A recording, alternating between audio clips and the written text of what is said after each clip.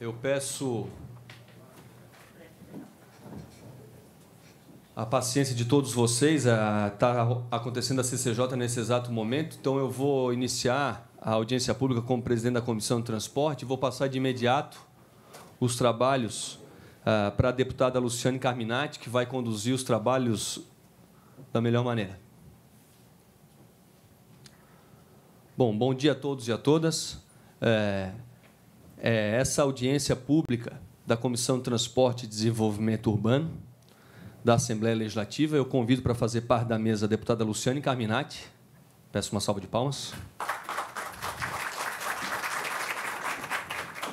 Ela vai conduzir os trabalhos. É, eu vejo aqui, deputada, que o coordenador Gilmar Cardoso, da ANTT, se está presente. Também peço para fazer parte da mesa.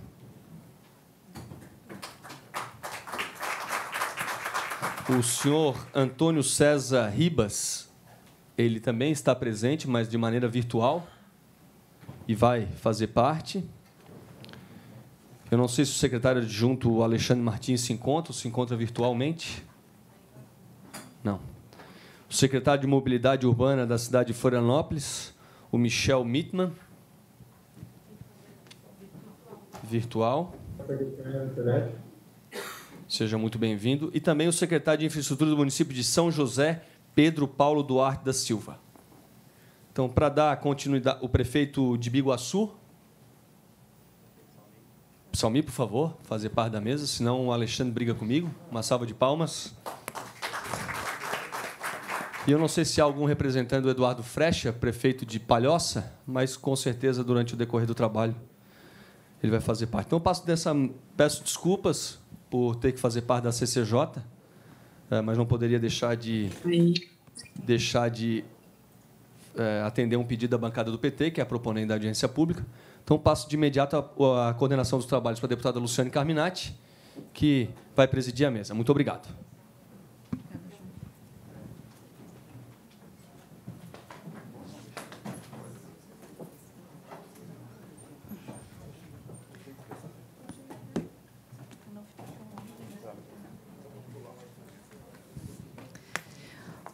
Bom dia a todos e todas. Quero já agradecer a presença de cada um, de cada uma. E faço nesse momento, então, a condução dos trabalhos, registrando aqui conosco o Gilmar Cardoso, é, da Agência Nacional de Transportes Terrestres, é, o prefeito de Biguaçu, Salmir da Silva, deputado Fabiano da Luz, que está aqui conosco, também como líder da nossa bancada, foi proponente mas em função da CCJ não, não consegue permanecer. É, também temos a presença do deputado Sareta, que está aqui conosco virtualmente, né? também seja, seja bem-vindo. Temos a presença da vereadora aqui da Câmara Municipal de Florianópolis, nossa vereadora Carla Aires, está aqui conosco. Também é, o senhor presidente do Conselho Estadual dos Direitos Humanos, o Fabrício Bogás Gastaldi, é, a senhora presidente da Associação de Moradores da Avenida São Cristóvão, do município de Palhoça, a Maria de Fátima Medeiros Dias, está aqui. Senhor presidente do Partido dos Trabalhadores do município de São José, é, Ari Cândido, também está aqui conosco. Senhor Procurador da Autoviação Imperatriz da Grande Florianópolis, Valdir Gomes da Silva, neste ato, representando o senhor presidente Dante Gullin, senhor gerente de articulação da Câmara dos Dirigentes Logistas do município de, Florianópolis, o Hélio Leite, a Ideli Salvati, nossa senadora no período de 2003 a 2010. Bem-vinda também, todos bem-vindos, bem-vindas. Quero só combinar com vocês a, as falas, o tempo, para que todos fiquem bem tranquilos de como se dará essa audiência, né? Então, é, no primeiro momento, nós passaremos as falas para as autoridades que foram convidadas a se manifestar, algumas presenciais e outras virtualmente, né? É, passo também a palavra aos deputados. É, talvez Sareta e Fabiano querem dar uma saudação inicial, eu sei que vocês têm atividades, né? Se desejarem fazer uma fala inicial, a gente a gente vira aqui, faz primeiro dos dois deputados que estão, depois abrimos para as falas das autoridades. E como eu vou conduzir esta audiência e tem pessoas aqui que vieram com o objetivo de trazer os problemas pontuais de cada região, de cada local de moradia, nós vamos abrir a inscrição. Então, eu vou pedir para se inscrever aqui, né, com a Lívia, tá? Só levantar a mão para se inscrever e terá que, que falar depois das autoridades na tribuna por conta da gravação. Tudo bem? Pode ser assim? Então, é, como já foi mencionado, o tema que está em debate aqui, que não é novo, né? O Gilmar estava, inclusive, nos dizendo aqui que já participou de outras audiências para tratar do mesmo assunto, né? Então, já temos uh, um tema que já foi abordado por outras vezes, né? Inclusive, em 2017, nós localizávamos aqui a matéria, mas que de lá para cá não se viu grandes mudanças, inclusive em relação aos encaminhamentos que deveriam ter sido dados e que não foram é, executados. Então, o debate hoje ele tem como objetivo né, fazer essa discussão com relação à integração dos sistemas viários existentes. O foco central não são as obras em si, mas a integração dos sistemas. Né, terrestre, marítimo, né, estadual, federal, municipal, ou seja, como que eles convergem, dialogam, se integram, qual o foco, aonde, quem responde, quem coordena. Esta é a questão central, então, né, é, da discussão. Lembrando que a nossa vereadora Carla Aires tinha aprovado na Câmara de Vereadores um requerimento para que esta audiência fosse feita de forma conjunta com a Câmara de Florianópolis. Porém, aqui na aprovação uh, uh, não foi não foi deliberado por isso. Mas creio que não não há prejuízos, né? A vereadora está aqui, fará a sua manifestação com toda a liberdade também. Então, Fabiana, eu vou passar para ti fazer uma fala, saudação, pode ser? Depois a gente libera o deputado, nosso líder.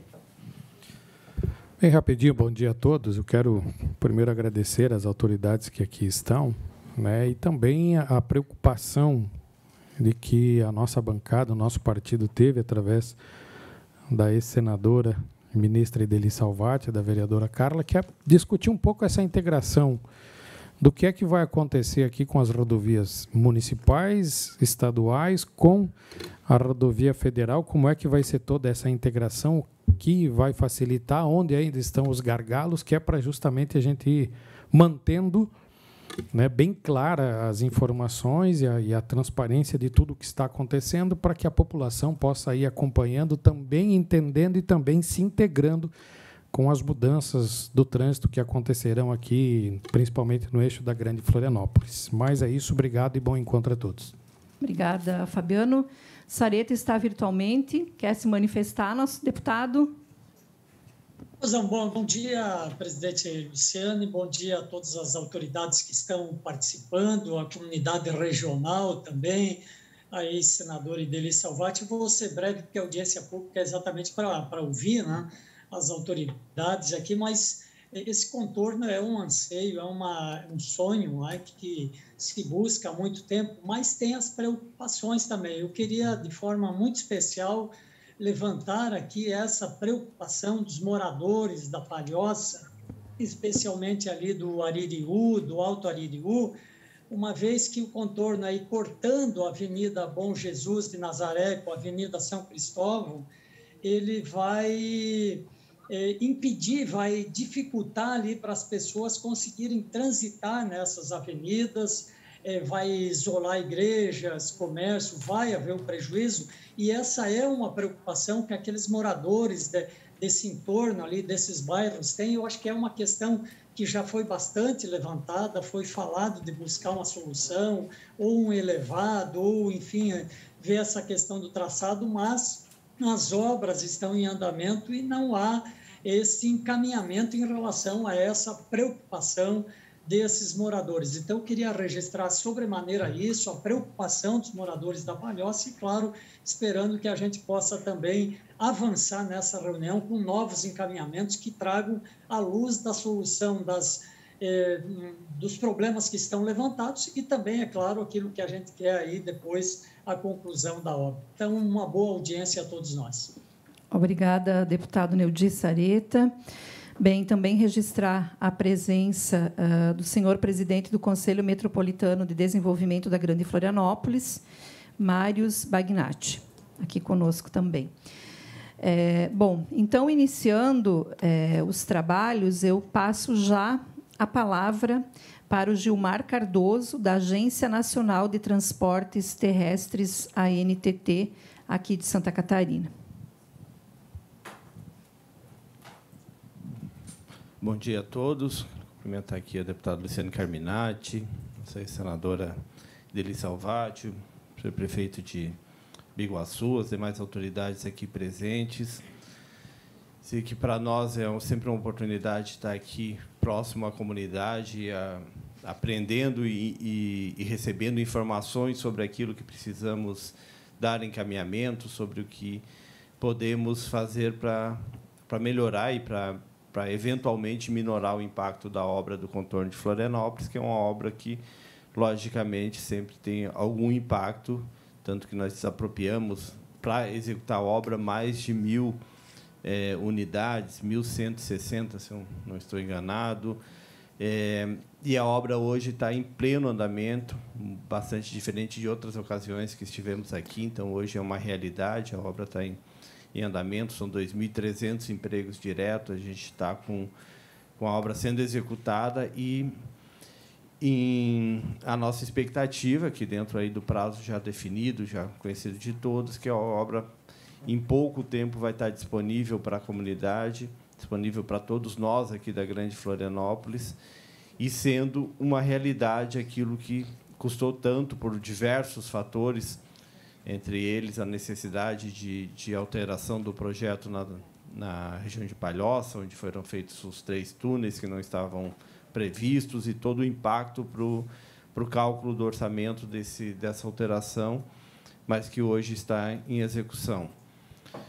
E a, preocupação dessa audiência, eu acho que ela é fundamental, tanto que nós já discutimos, eu vim aqui conversando com a antes da, de nós iniciarmos com a, com a deputada Luciane, com os demais presentes aqui, que nós tivemos já em 2017, em junho de 2017, uma audiência aqui para discutir o zoneamento das áreas, áreas próximas ao contorno de Florianópolis e a necessidade de pensarmos a mobilidade urbana da Grande Florianópolis de uma maneira integrada à, à nova obra do contorno de Florianópolis, a nova rodovia, aliás, traçado da BR-101, que o contorno de Florianópolis vai proporcionar à região.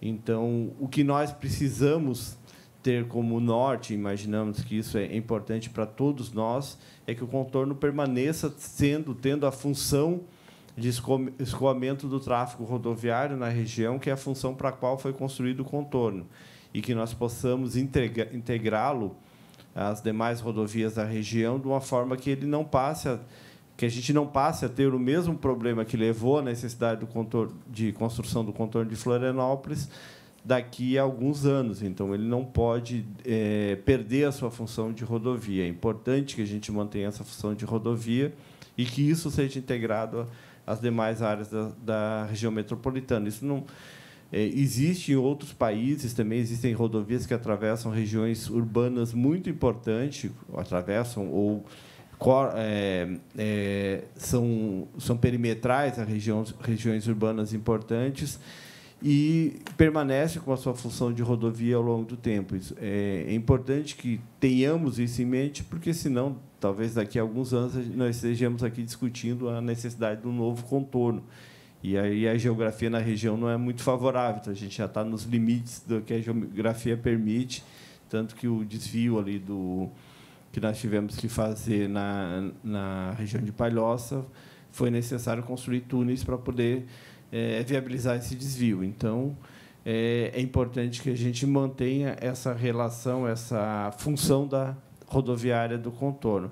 Mas manter essa função rodoviária vai depender de uma integração a todo o sistema rodoviário e todo o planejamento urbano também precisa ter, ser feito de uma maneira que se mantenha a função da, da rodovia e a função das demais rodovias.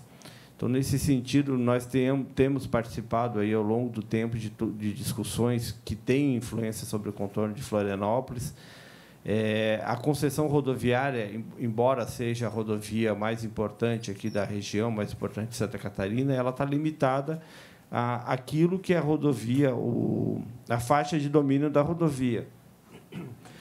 Então, nós não podemos, obviamente, a, a, não é a concessionária, não é a NTT que vai fazer o planejamento de transporte, planejamento de mobilidade da região. Então, nós temos uma operação de uma rodovia pela concessionária que nós somos responsáveis por fazer a regulação dessa operação. Mas a gente está limitado, obviamente, ao traçado da rodovia, à rodovia em si. Porém, a gente tem essa é, noção de que a rodovia tem que estar integrada e ela precisa estar integrada a todo o sistema viário e precisa ser integrada ao planejamento de mobilidade da região.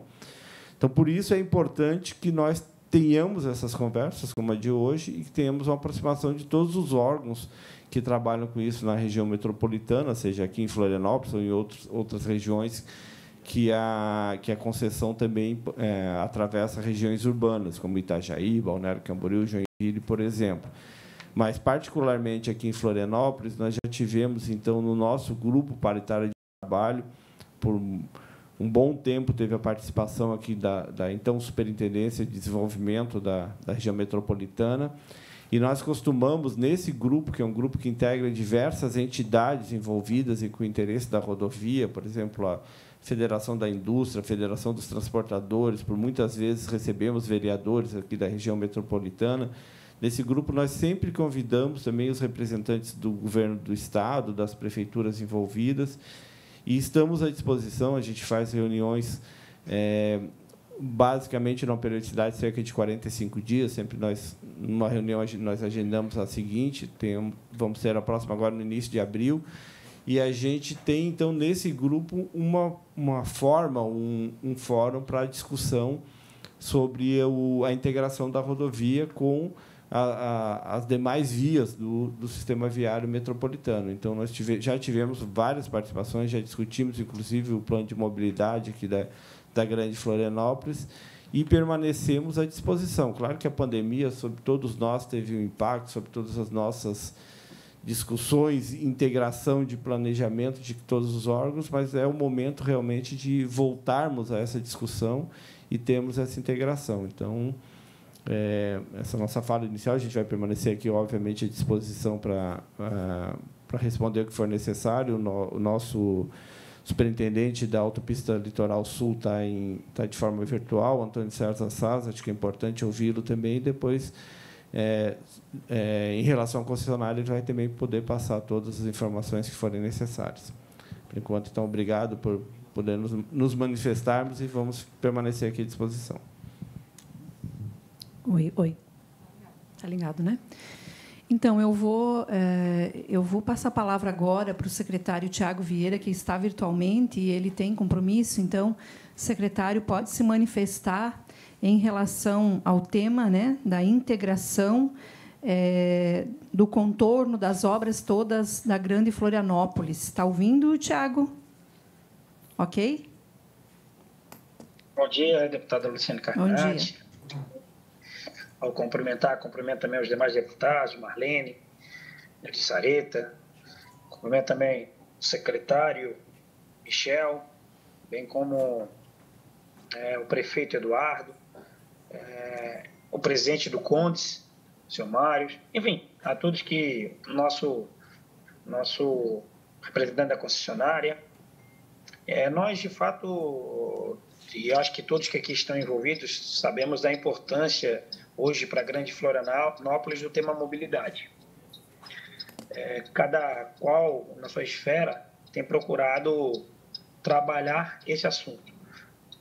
Antes de falar do que o Estado tem feito, eu acho que o primeiro ponto a se destacar é que, por vezes, em que pese a gente acabe comentando é, por, em reuniões, em debates, sobre as ações que cada um está fazendo. Eu acho que falta da nossa parte, e eu digo de todos aqui envolvidos, de a gente botar todos os projetos junto na mesa para que a gente possa fazer um grande plano de desenvolvimento para a região metropolitana. Então, hoje, além de secretário, estou respondendo pela SUDEF, e, e um dos temas que para nós é, que, que, nos é caro é que a gente possa trabalhar a questão do PEDUI, e, e a gente vai avançar agora no processo de contratação para que a gente possa, de fato, fazer alinhamentos, né? Daqui a pouco a gente acaba autorizando uma determinada construção que depois gera um transtorno lá na frente. Sei lá, o Estado autoriza uma construção que depois vai impactar uma obra do município, ou o município autoriza uma, um loteamento que vai gerar um impacto na obra federal e por aí adiante. Então, acho que a gente precisa é, alinhar todas essas ações dentro de um grande programa de desenvolvimento. Além disso, e aí falando do Estado, é, dentro dessas conversas, a mobilidade é um tema caro é um tema que não ganhou só um nome dentro da secretaria, saindo de um conceito estático conceito dinâmico, se falava de infraestrutura de transporte, mas não se falava pontualmente dentro de um esforço para a mobilidade. A Secretaria de Infraestrutura lançou o SC Mais Mobilidade, o governador Carlos Moisés lançou o SC Mais Mobilidade, que é um tema que está dentro do site, justamente nessa lógica de transparência, de saber para onde a gente está caminhando enquanto Estado. Qualquer pessoa pode acompanhar via site qual o planejamento macro do governo do estado para a Grande Florianópolis no SC Mais Mobilidade. Dentro desse programa do SC Mais Mobilidade, alguma das ações que nós temos é fazer a integração das cidades da Grande Florianópolis. E aí, eu, a gente tem procurado fazer a implantação de rodovias que permita a, facilitar a mobilidade. Um exemplo dessa é a 281 de São Pedro de Alcântara Angelina. É, um outro bom exemplo é o convênio que nós passamos recursos para Antônio Carlos. Ah,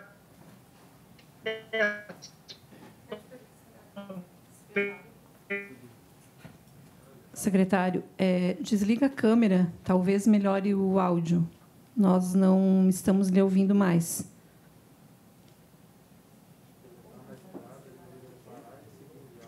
de mobilidade Avenida Beira Rio, Antônio Carlos. Antônio Carlos, é, é, São Pedro de Alcântara, 281.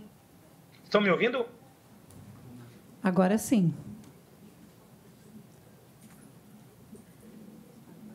Já vai sair do túnel aqui. Ah, tá no túnel. tá. Compreensível, aí não tem mesmo. Alô? Oi, pode continuar. É, outro bom exemplo, prefeito Eduardo, é a ponte do Cubatão, que cria uma rota alternativa para quem, quem quer acessar é, para quem quer acessar a BR-101 vindo da 282. O que, que eu quero dizer com isso? Que além das rodovias estaduais, como a Jorge Ensino Angelina e a 281, São Pedro de Alcântara, São Pedro Alcântara Angelina, nós temos procurado fazer integração regional por vias a ser, novas vias alternativas. E eu dei vários exemplos de obras, como a de São José da Avenida Beira Rio e de Antônio Carlos, que estão em andamento, e outras que vão surgir, como a ponte do Rio Cubatão. Isso vai auxiliar o sistema de mobilidade da Grande Florianópolis. E, obviamente, quando a gente fala Grande Florianópolis, nós temos um grande pacote para Florianópolis também, que é o SC Mais Mobilidade Floripa. Todas as rodovias estaduais, hoje, do Estado, em Florianópolis, praticamente vão ter, estão com projetos em elaboração para aumento de capacidade. Quando a gente fala em aumento de capacidade, a gente está falando de duplicação, está falando de terceira faixa, está falando de melhorar a mobilidade. Todas elas valorizando e humanizando por estarem em travessias urbanas do cicloviário, e para nós é um tema também caro, que é a questão das ciclovias. Dito esse ponto, que é a parte de infraestrutura rodoviária, é, que demonstra que nós queremos esse processo de integração, que para nós a integração regional é um fator que vai favorecer a mobilidade, nós também estamos trabalhando na, numa nova modelagem, é, dando continuidade à operação do transporte metropolitano. E aí eu estou falando do transporte intermunicipal. Saio das rodovias, falo do transporte intermunicipal. Nós estamos com o observatório, retomamos isso em agosto do ano passado, de mobilidade, e, e o observatório, junto com os técnicos da SUDEF, os técnicos da Secretaria, PGE, é, e a própria Aresp, nós estamos modelando, avançando, para que a gente consiga, assim, esse é o nosso grande foco, é avançar no processo de licitação de concessão do transporte intermunicipal metropolitano. Então, hoje, por exemplo, eu tenho o GT, a, a maior pendência que nós temos sobre essa licitação é o fator jurídico, são, ou seja, são os, os elementos contratuais é, relacionados ao modelo que foi definido. E dentro desses elementos contratuais é o debate que a PGE, junto com as assessorias jurídicas da SUDEF e da Secretaria, nós estamos desenvolvendo. Então, a grosso modo, são essas as ações que o governo do Estado tem procurado. A mobilidade é um tema caro, a integração regional é um tema que facilita e está alinhado com a mobilidade. E para nós, a gente tem procurado fazer essas ações, porque acreditamos em os fazendo, nós teremos melhores condições de mobilidade. Sem me alongar, deputada Luciana, lhe passa a palavra e estou à disposição aí para qualquer tipo de esclarecimento. Ok, secretário, muito obrigada. Nós haveremos de propor vários encaminhamentos, dentre eles, acho que o senhor já aponta aqui na fala também é, do, do, responsável Gilmar, né, que falou já inicialmente, coordenador da NTT, a ideia de nós termos uh, uma sair daqui com uma reunião marcada já para alinhar os projetos, né? Nós temos que sentar na mesa e não dá para ficar esperando que daqui a um ano, dois anos, a gente volte ao tema. Então, quem sabe esse já é um encaminhamento para que a gente dialogue com é, manifestações concretas né, é, de posse de todos os projetos. É, o Michel está solicitando a palavra. Tu tens que falar agora, porque eu, na sequência, eu passaria aqui para a autoridade presencial. Pode aguardar? Tudo bem, Michel? Não, tranquilo, é só para registro mesmo. sim, momento. sim. Não, não, está aqui na nossa, no nosso roteiro, tá bom? Então, obrigada, secretário, e com certeza vamos uh, ter que conversar muito, né? Eu passo a palavra agora, então, ao prefeito Salmir da Silva, que está aqui conosco, prefeito de Biguaçu, para sua manifestação. Bom dia a todos.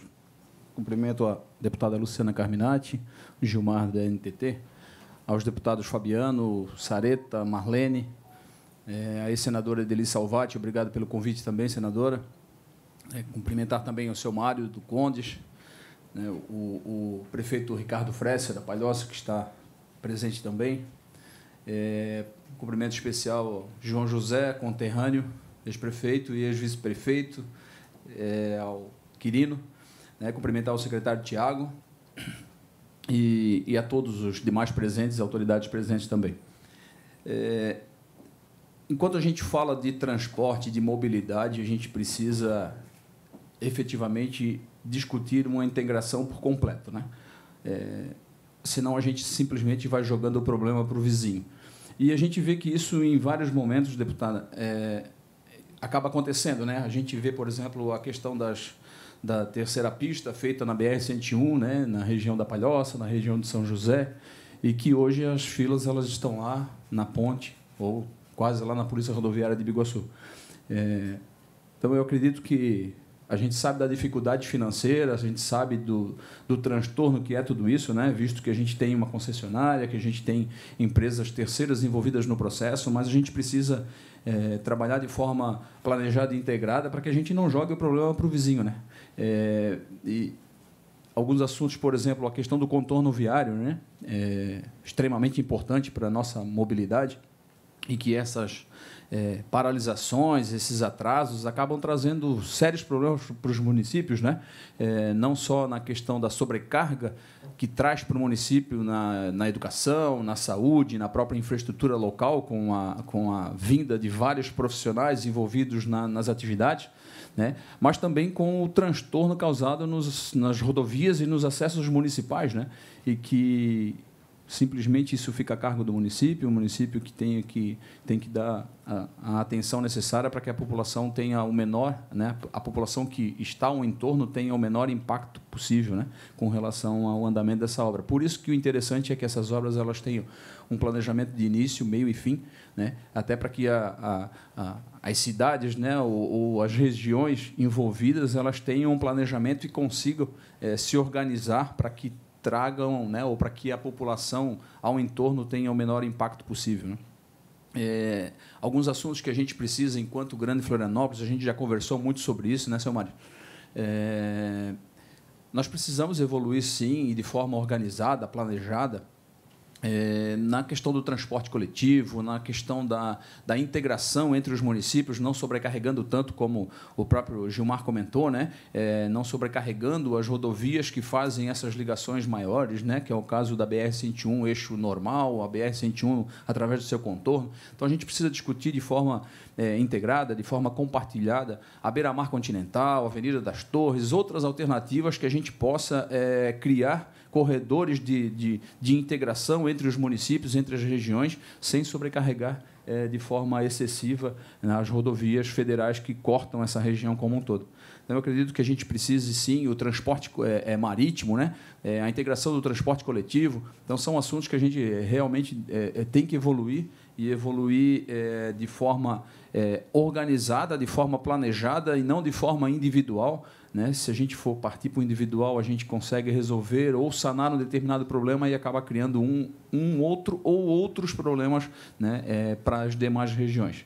Então, desta forma, fica o meu agradecimento pelo convite. Espero que a gente consiga realmente evoluir nesse quesito e nesse assunto para que a gente sane de, de, uma vez por todas. É lógico que com o crescimento da região, a gente vai é, é, cada vez mais aumentando esses problemas, né? mas que a gente consiga de forma é, planejada contornar né, e sanar e minimizar esses problemas para a região. Muito obrigado. Obrigada, prefeito. E eu passo a palavra agora ao secretário de Mobilidade Urbana do município de Florianópolis, o Michel de Andrado Mitman, que está de forma virtual. Michel. Bom dia a todos. Cumprimentando a deputada Luciane, eu cumprimento a todos uh, as autoridades presentes, uh, também em especial a, a senadora Idele Salvati. Uh, cumprimentando o prefeito Ricardo, estendo a todos os representantes de, das, do, dos poderes municipais e eu cumprimentando o secretário Tiago Vieira, eu cumprimento demais secretários e autoridades presentes. Acho que o tema é extremamente relevante, a gente tem trabalhado em cooperação, ah, na medida do possível, com o governo do Estado, em especial com o secretário Tiago Vieira, em ações de mobilidade, entre elas ah, a questão do transporte náutico, que, que tem evoluído. Estamos acompanhando a, a questão da, do desenvolvimento de uma rede metropolitana de transporte, que o Observatório de Mobilidade começa agora a apresentar os resultados e a, a evolução disso. Uh, Florianópolis, diferente de outros municípios da, da região metropolitana, ele, ele não está no eixo, assim como está Palhoça, como está São José, como está a própria Biguaçu, né, que elas estão no coração de uma BR-101, mas ela é receptora de viagens, né? E receptora de viagens de um outro formato do que aquelas que envolvem conflitos mais de rodovia uh, de passagem nacional, né, como uma BR-101, uh, com trânsitos locais, com operações estaduais. Florianópolis, por ser uma ilha, está na ponta disso, né, ela é muito mais receptora de viagens urbanas, que, claro, se mesclam com requisitos de transporte de, diferentes ordens, né. Então, a gente tem expresso uma preocupação, estamos vivendo isso nesse momento, sobre o modelo de cidade que resulta disso tudo, né? Como a interface desses, desses uh, diferentes cargas sobre as infraestruturas rodoviárias. Vou dar um exemplo bem em duas esferas aqui: a rodovia federal que acessa as pontes, a rodovia federal conecta né, vários municípios, tem aqui na região continental, chega às pontes, ali a gente tem uma mistura de trânsitos e falta prioridades para o transporte coletivo para ajudar também a equacionar a questão da mobilidade urbana mais local. Chegando na ilha, a gente tem duas pontes né, estaduais e aí um sistema viário municipal para ver as complexidades que a gente tem de interações. Além disso, a gente quer uh, tem que rever e discutir o papel de, das uh, rodovias estaduais intraurbanas. Uh, Florianópolis é um caso típico disso. Tem outras cidades que também uh, têm essas rodovias estaduais que acabam fazendo parte do dia a dia da cidade, seja que ela passe a ser organizadora da cidade. Há exemplo aqui das nossas SCs, né? Dentro do município, vamos falar, por exemplo, a SC 401, e que a gente quer e gostaria que toda qualquer determinação de projeto, planejamento tivesse uma visão integrada com o município, porque ela determina as formas de ocupação ao longo desse território, ou seja, o desenho, elas são rodovias em muitos casos com trechos muito urbanos, né? Então, o seu desenho ela tem que ser não um desenho necessariamente rodoviarista que fala e se fala, mas um desenho que seja humanizado, mas que também atenda aos desempenhos desejados para aquela rodovia. Então, somente a partir de um diálogo em que o papel do município e do seu plano diretor, do seu plano de mobilidade seja uh, também definidor né, desses projetos, é que a gente vai ter uma reserva adequada para nossas cidades. Senão a gente vai criar conflitos urbanos né, com essas rodovias de passagem e perder oportunidades de organizar centralidades, mais eficiência no território, desenvolver eixos de transporte coletivo, uh, organizar corredores para o transporte da cidade. Então, acho importante a iniciativa como um todo uh, e que se discuta. O caso de Florianópolis é um, né? Deve ter vários municípios que têm esse tipo de situação de uma rodovia que passa por dentro do município, da parte urbana, que eu acho que daí sim, eh, o Tiago Vieira tem tentado esse diálogo, a gente tem uh, aperfeiçoado isso, mas acho que está na hora de um passo mais mais uh, sustentável a longo prazo, para que não dependa de uma administração ou do outra, mas que criem protocolos de discussão desses projetos dos âmbitos adequados. Ok, então, quero registrar a presença da nossa deputada Marlene, que também está virtualmente acompanhando. Depois, Marlene, caso você queira se manifestar, também está aberto o microfone. E também registrar a presença aqui do nosso ex-vereador, Lino Pérez, também está aqui conosco. E eu passo a palavra agora ao prefeito de Palhoça, prefeito Eduardo de Palhoça, que está virtualmente também aqui conosco. Bom dia, bom dia a todos. Gostaria de inicialmente cumprimentar nossos deputados, em nome da deputada Luciane e todos os deputados presentes, é, cumprimentar a senadora Ideli Salvati, cumprimentar o Gilmar, Salmir, todos os representantes da população que estão é, nesta, nesta audiência. É, nós temos uma preocupação, como muito bem mencionado, citado já por muitos, que é, é algumas interferências né, do contorno viário junto ao município de Palhoça. Tivemos já um, né, grandes ganhos é, na execução da terceira pista, a qual né, agradeço e parabenizo é, pela agilidade com que a concessionária executou essa obra e pelo cronograma oficial era para estarmos nesse momento recebendo essa obra.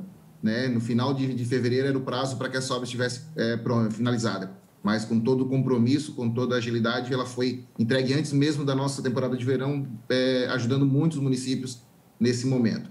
É, e nós temos esse canal de diálogo muito grande com, com a autopista, com a NTT, e estamos avançando nessas discussões.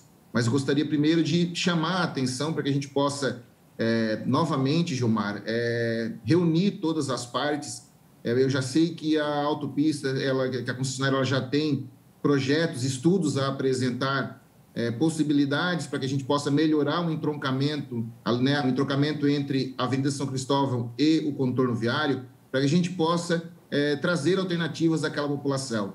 Né? Uma população de um bairro tradicional, um bairro que inicialmente era cortado pela BR-282, a BR-282 tinha seu traçado pela Avenida São Cristóvão, foi feita toda a mudança, eles perderam já naquele momento com toda a mudança de trânsito que ocorreu e agora perdem severamente com, é, de certa forma, um, uma mitigação, eles vão ficar exclusos de todo o restante do bairro, uma população onde nós temos uma escola municipal, onde nós temos pontos turísticos, pontos religiosos e de uma comunidade tradicional que tem o seu comércio forte e que, tecnicamente, se for analisar o que será feito no, como alternativa é, no entroncamento com a BR, trará uma série de prejuízos àquela comunidade. Por isso a gente vem é, conversando bastante, trabalhando muito em cima desse ponto. Obviamente que o contorno é uma obra é, muito importante para o Estado e nós não, de certa forma, não poderemos de forma alguma permitir que tenha qualquer atraso, novo atraso nesse, nesse calendário, mas sim continuar lutando para que a gente tenha a melhor alternativa possível para o município e para os moradores daquela região. O município vem fazendo também sua parte, projetando novas avenidas, é, que vai melhorar a mobilidade no município e que integra o Plano Rio do Governo do Estado. Assim como o Tiago falou, o secretário Tiago falou, a questão da ponte do Rio Cubatão, o qual o município, nos anos anteriores, elaborou seu projeto, uma importante obra, e assim vem fazendo ações internas para melhorar a mobilidade. Mas isso sozinho não vai surtir o efeito necessário. Precisamos criar essa integração regional, tratar sim a questão da mobilidade com o transporte coletivo e juntos trazer essas soluções, essas alternativas que vai trazer o ganho local e representação e, e também representar muito para a região. Ok, prefeito, agradeço e vou passar a palavra agora à deputada Marlene, que pediu para se manifestar nesse momento. Deputada Marlene.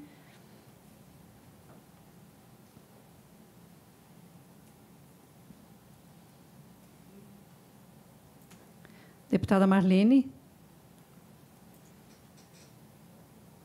Ela está aqui, né? Tá, né? Bom, então eu vou passar a palavra para próximo e depois a gente inclui, então, a deputada Marlene. Nós temos aqui. Opa, Marlene, fique à vontade para se manifestar. Teu microfone está desligado. Ok. Bom dia é, ao presidente da comissão, João Amin. Bom dia, deputada Luciane. Bom dia, Gilmar. Aos prefeitos aqui da região. É, o Tiago, também da Secretaria de Infraestrutura.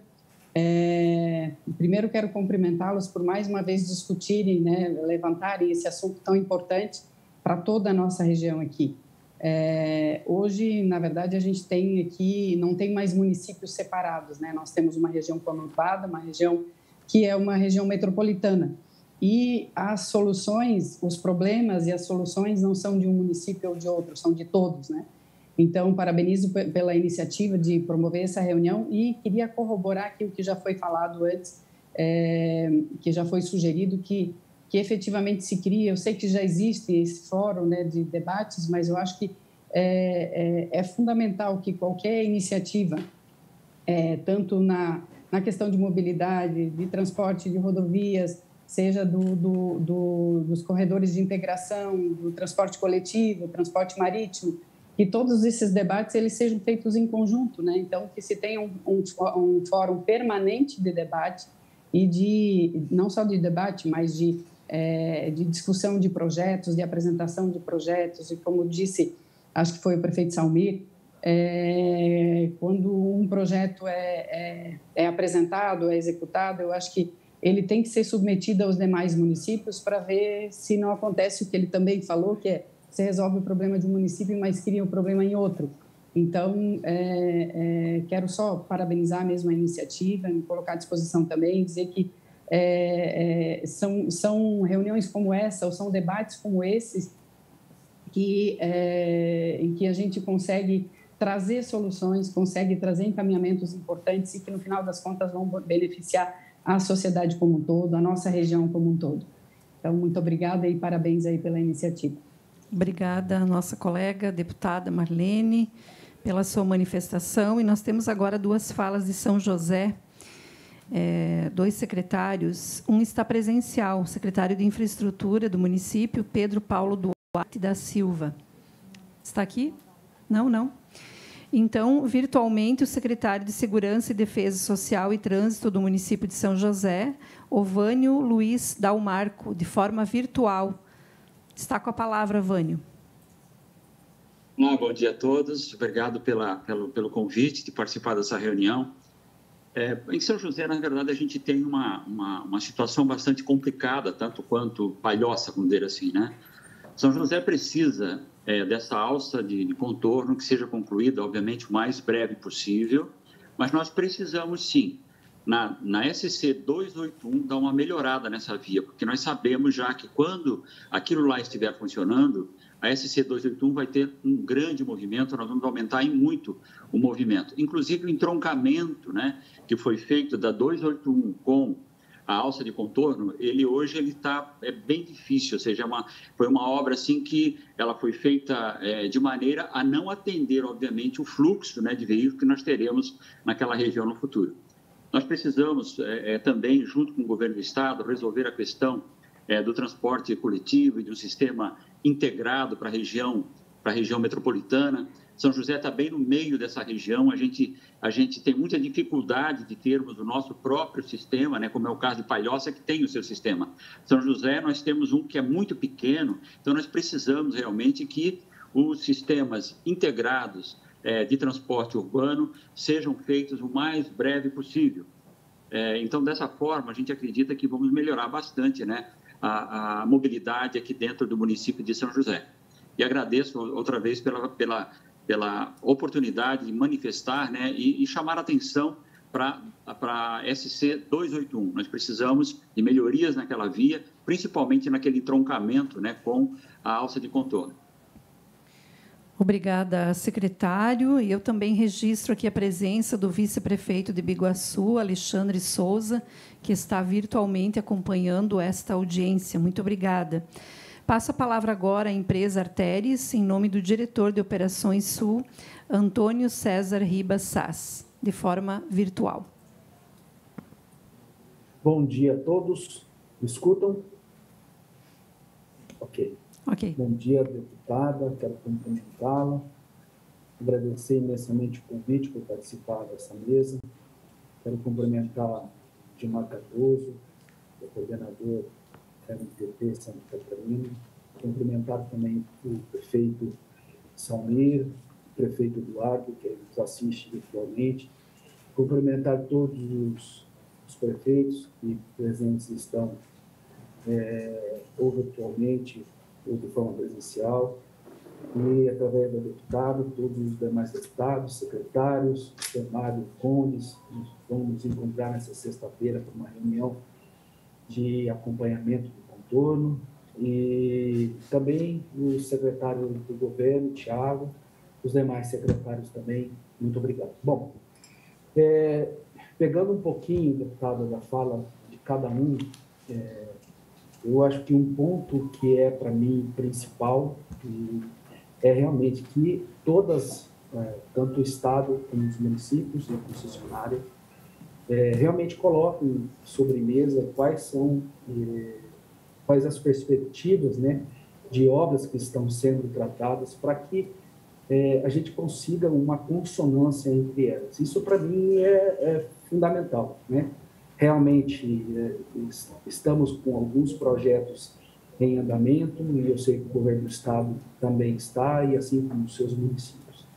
Mas eu queria, é, que eu, eu preciso de algum tempo queria tentar trazer um pouquinho é, desse panorama, né? Então, é, o Gilmar Cardoso, ele, ele, colocou muito bem a situação do contorno, o contorno está caminhando, o Norte A, que era realmente um ponto de preocupação, está em, em pleno vapor, a empresa é, catarinense né, está é, realmente fazendo toda a terraplenagem, nós temos o trecho sul também em andamento, Tivemos um momento especial no contorno, que são encontros das duas frentes é, de um, túnel, né, do túnel 4. É, temos aí agora para e passo né, o avanço dos demais túneis é, para que assim, já se avance nas próximas etapas de terraplenagem, pavimento e, e, os demais equipamentos que precisam para o túnel.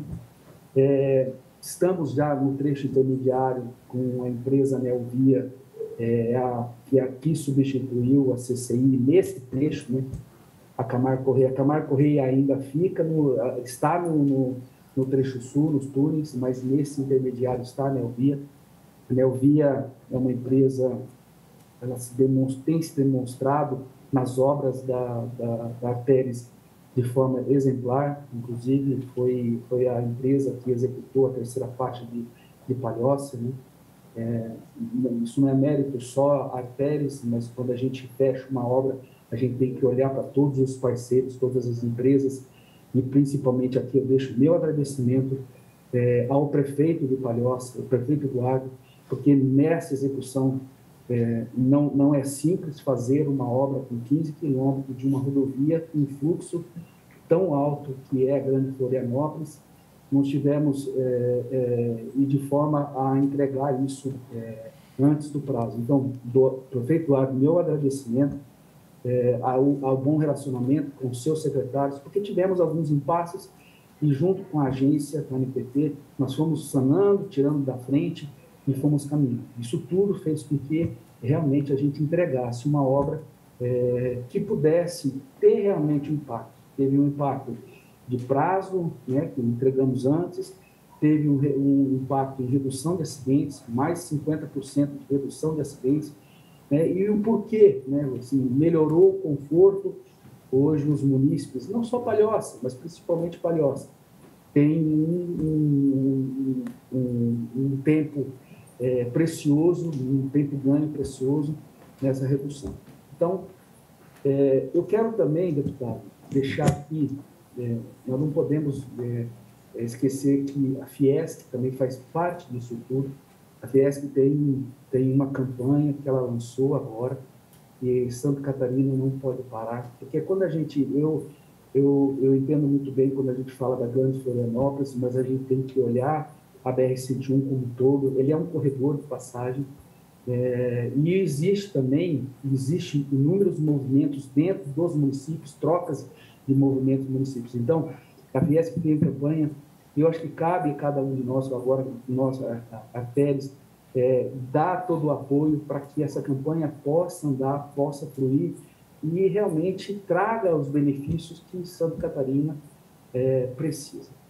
É, nós estamos com vários projetos, sabe, deputado e a todos, vários projetos em andamento, inúmeros projetos em andamento. Um deles, aqui com o prefeito, é, sabia que está aqui conosco, né, na mesa, é, que é, esse projeto é um projeto executivo, já está protocolado isso na agência, que é a, a tão, a tão né, sonhada né, a ligação das, da marginal de Biguaçu, no sentido norte, com a construção da ponte. São mais ou menos 600 metros de marginal, mais a, a ligação da ponte. Então, esse projeto já está lá, né, e junto disso, uma iluminação. Então, nós estamos tratando disso, sabe, prefeito? É, entendemos de que, e não é só o prefeito de, de, de, de Biguaçu, também prefeito de Palhoça, os demais prefeitos, a BR-101 precisa de uma ampliação de capacidade né, contínua frente ao crescimento que ela, que ela tem demonstrado. A Santarém tem um crescimento gigantesco e nós temos que dar realmente a infraestrutura para que isso é, é, continue perpetuamente crescer. Né? Então, na, esse, todos os projetos, nós já estamos em discussão. Então, as reuniões aqui com a CUINF, Santa Catarina, junto com Brasília, no sentido de de buscar todos os embasamentos possíveis para que esses projetos possam ser aprovados e a gente realmente, na prática, possa vir a, executá-los. Isso vai trazer, por exemplo, uma, uma possibilidade, talvez, uma continuidade da terceira faixa do sentido norte.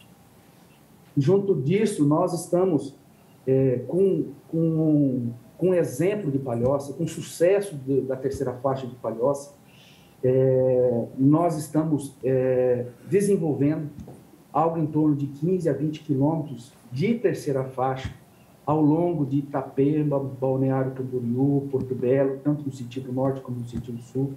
Isso é, é o desenvolvimento da concessionária de projetos, isso não tem aprovação nenhuma, mas nós já estamos vendo a necessidade de que é necessário, é necessário, né? Entre outras obras, por exemplo, Itajaí, Itajaí realmente necessita. Então, temos um pacote de obra robusto, inclusive que culmina com a construção de uma superponte, é, com um, um, marginal, um ponte sobre o rio é, Itajaí. Né? Então, de toda forma, de toda forma, quando a gente olha para todo esse bojo de, de intenções, porque todos estão com boas intenções, né? Nós precisamos realmente, e aqui eu louvo esse, esse momento, precisamos realmente que cada um coloque a sua necessidade para que a gente integre os, os seus projetos com as necessidades de, de cada local, de cada município e do próprio Estado. É necessário isso. Né? É, o contorno tem, tem dois entroncamentos importantes com, com a, com a BR-101, né? mas ele tem outros entroncamentos é, ao, ao longo do trajeto dele, ao longo dos 50 quilômetros dele. Então, nós temos é, o Estrada dos Três Riachos, a SC 407, é, a SC 281, a 282, que, como o próprio secretário comentou, que a partir da hora que o contorno ele estiver em condições de uso e todas essas, essas rodovias, seja estaduais ou seja municipais, elas vão é, demandar, elas vão ter uma demanda de fluxo é, maior do que hoje existe. É, sabemos, deputado e a todos, que é uma obra de 50 quilômetros, não é uma obra simples. No entanto, em que nós estamos executando quatro túneis duplos nesse, nesse, nesse trajeto. Não é uma obra simples. Nós temos detonações, às vezes, duas, três vezes ao dia. É, isso traz os incômodos a toda a população, mas temos um prazo, esse prazo vai chegar e nós vamos entregar essa obra, e essa obra ela vai trazer muito mais benefício. E todo esse momento que vivemos, é, que estamos vivendo agora, será esquecido. Temos a nossa preocupação né, com o prefeito Eduardo, temos a nossa preocupação com o prefeito Eduardo, realmente é, já estamos em condições de, de voltar para uma reunião, para ir já apresentar com as alternativas e tentar solucionar né, de forma que seja bom para a sociedade é, a obra do contorno que, que hoje corta São Cristóvão. No caso da São Cristóvão, nós já temos um projeto, né? O, primeiro projeto é um projeto de uma alça que passa por cima do, do, do, do contorno, mas ele está, está, sendo, está sendo estudado outras alternativas. Então, nós estamos atentos né, a todos os anseios é, e aqui me colocando novamente à disposição de todos os senhores, né, para que a gente é, é, tenha esse, esse diálogo sempre aberto e também coloquem na frente os problemas para que eles realmente, a gente não vá lá e, e, e, e, e apague o fogo, mas que a gente, de forma preventiva, a gente vai sanando eles. É, junto com esse pacote de necessidade né, da Litoral Sul, né, do trecho da BR-101, temos também Joinville, que, que tem projeto já protocolado na agência, também de ampliação de capacidade. Mas aí, deputada, para por aí? Não para por aí. Antônio, temos outros locais. Só peço para ir concluindo, porque nós temos mais falas. Tudo bem? Não, não, perfeito. Então, não, não para por aí. Né? Eu acho que esse é esse pacote que nós temos agora, ele é o próximo passo, e depois é, voltar de novo e, e, e, reavaliar os estudos e aí propondo outras, outras ações é, para que a gente melhore. Então, Novamente, então, muito obrigado, deputada, obrigado a todos. É, me coloco à disposição para que possamos nos reunir e tratar dos assuntos, tá? Obrigada, muito obrigada, Antônio. É, bem, agora nós temos seis pessoas inscritas. Eu vou pedir um teto de três minutos de fala para cada um. Encerramos com a fala do Lino, pode ser? Então, sete pessoas inscritas é o teto das falas e depois encaminhamentos e passamos, porventura tenha que responder, né, é, alguma questão aqui ao final. Primeira pessoa inscrita é Ideli Salvati, que foi nossa senadora 2003, 2010, já aproveitando também fazer o registro do João José, né, que conduziu o DENIT por um bom tempo, um belíssimo trabalho aí. Estava comentando com a Ideli que a gente vinha lá do oeste até o litoral e nós encontrávamos muitas e inúmeras obras, né? De trevos, de acesso, de elevados, obras bem importantes. Seja bem-vindo também aí conosco, né, João José. Ideli, contigo. Bom, em primeiro lugar, meu bom dia. Quero saudar a nossa querida deputada Luciana, em nome dela, né, todas as mulheres que estão participando deste evento. E os homens eu quero saudar nas, nas, nas pessoas do Gilmar, da NTT, e o nosso prefeito de Biguaçu, o Salmir. E quero dizer assim, ó, nós moramos numa região metropolitana, aonde está tudo conurbado, aonde está ou seja, não tem solução para nenhum problema que afeta a população que não implique em ser combinado, ajustado entre todos, entre todos os municípios. O lixo de Florianópolis vai para onde, prefeito Salmir? Vai para Biguaçu. A água que nós tomamos aqui em Florianópolis vem de onde? Não venha, porque uma, só, a gente só tem água para uma partezinha da ilha. Então, se a gente não tem a água garantida dos outros municípios, Não tem água em Florianópolis. E, e se fosse por aí, eh, eu, eu falo meia hora sobre as questões. Mas o nosso tema hoje é integração das obras para melhorar a mobilidade. E aí eu quero deixar aqui registrado o seguinte, né? Foi muito interessante que a gente estava conversando antes e o Gilmar lembrando que em 2017 teve uma audiência e dessa audiência saiu como necessidade de elaborar um plano diretor para poder integrar. Porque é o seguinte, tem uma obra, mas a especulação imobiliária já se antecipa. Entendeu? Então, a obra que está prevista com a especulação imobiliária, com as pessoas né, mudando, uh, comprando e tal, já não é mais. Já não pode mais ser a mesma. E tem uma coisa que a gente não pode nunca esquecer: é ilha, com duas rodovias de alto trânsito federais que é a 101 concessionada né, no, no trecho e na obra do contorno, e a 282. E o DENIT não aparece aqui. Como é que o DENIT não aparece aqui? Entende? Porque é o seguinte, tem aqui a chegada, foi falado aí, a chegada na ilha é pela 282. Chega na ponte. Aquela confusão que está na entrada ali da, da, da né, quando sai do 101 e pega a 282 Entende? O pessoal de Santo Amaro não está aqui, não, não conseguiram chegar. Entende? Mas estão lá acompanhando. Porque virou um inferno chegar em Santo Amaro e, e Águas Mornas. Entende? Aonde é que isso se debate? Aonde é que isso se discute? Tem andamento da Beira-Mar Continental em Florianópolis. Beira-Mar Continental em São José. O prefeito de Biguaçu diz que tem né, projeto lá para um trecho de Beira-Mar.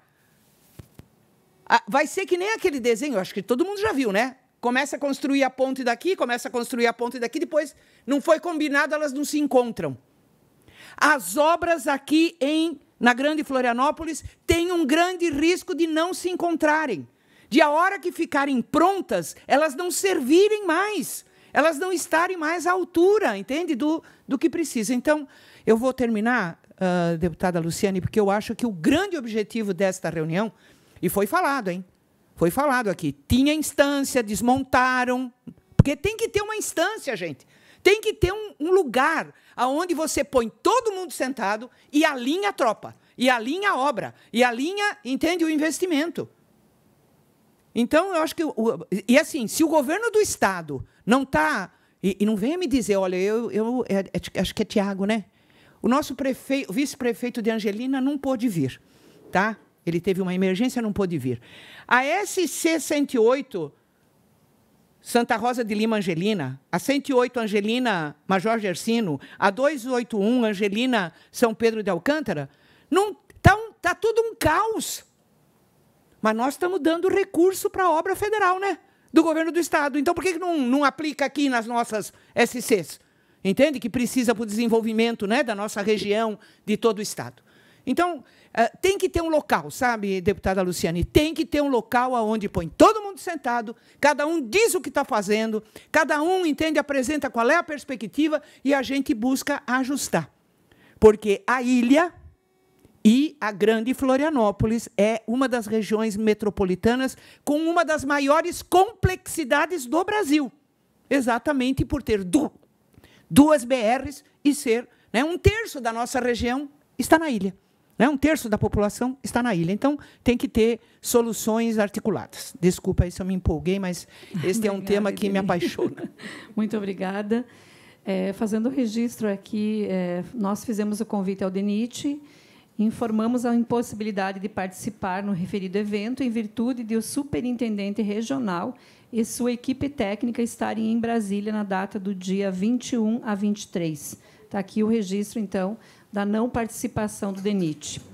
Eu passo a palavra agora a Maria de Fátima Medeiros, ela que integra uma comissão da Avenida São Cristóvão, né, da Associação dos Moradores aí, e quer também se manifestar sobre um dos temas aqui da, que já foi inclusive citado nas falas. Pode chegar até aqui?